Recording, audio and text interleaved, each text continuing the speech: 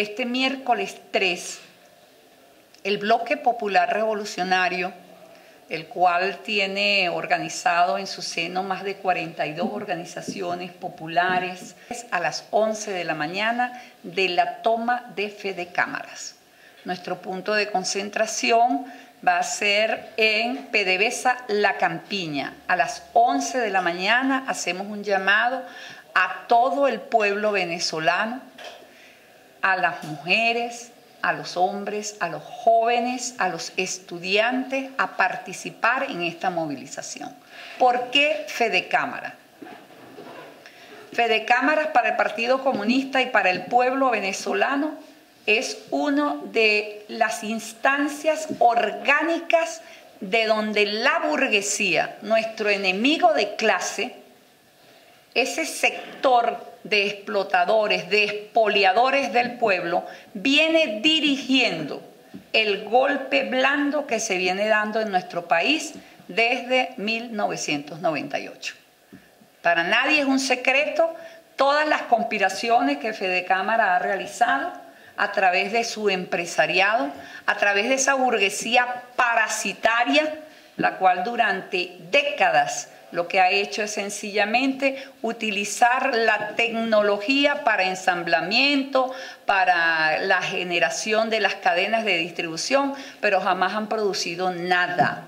Y si no, veamos a ver en qué, cuál es la, la marca de, de domésticos y de electrodomésticos que se llama Cisneros o que se llame Polar o que se llame Volmer. Ninguna, porque tecnológicamente y científicamente no tienen ninguna producción. Sencillamente es una burguesía parasitaria, una burguesía que ha vivido del rentismo, de la renta petrolera. Entonces nos vamos a dirigir allá, allá a elevar nuestra protesta a enrostrarle la claridad del pueblo venezolano con respecto a la responsabilidad que ellos tienen en la contrabando de extracción, porque se ha evidenciado de que además, además de todas las situaciones lamentables que se han detectado en la complicidad de diferentes sectores de las Fuerzas Armadas, este, de sectores inclusive de gobiernos locales en permitir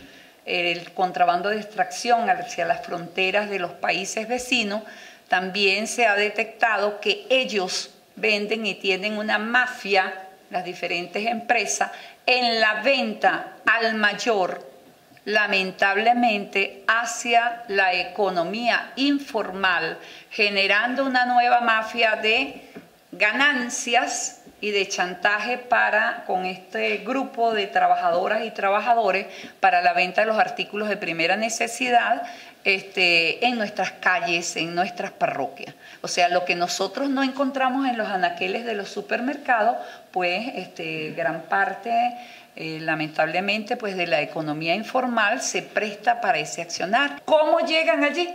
A través, ¿verdad?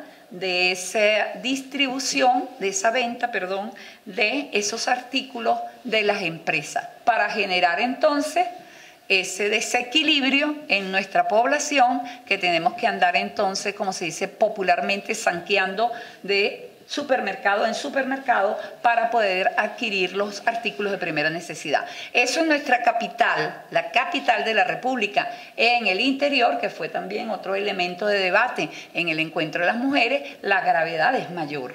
La gravedad es mayor, porque entonces, sobre todo en los estados de frontera, hay entonces el contrabando de extracción.